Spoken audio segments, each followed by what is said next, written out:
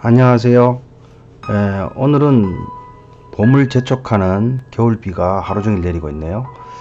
아, 오늘 3월 1일인데 3일절을 생각을 하면서 어, 오늘은 스테들러 펜으로 어, 서대문 형무소 그림을 한번 그려볼까 합니다.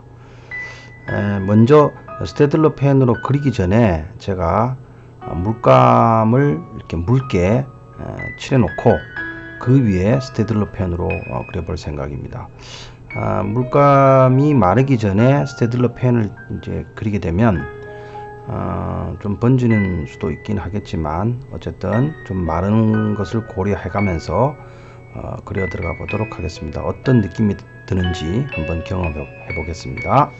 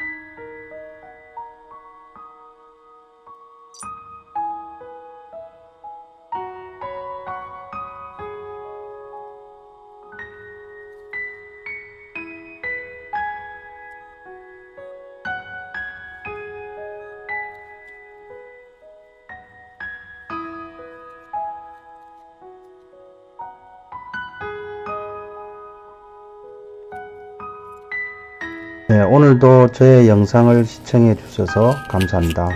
아, 제 영상이 도움이 되셨다면 어, 구독과 좋아요 부탁드립니다. 아, 다음 영상으로 또 찾아뵙겠습니다. 감사합니다.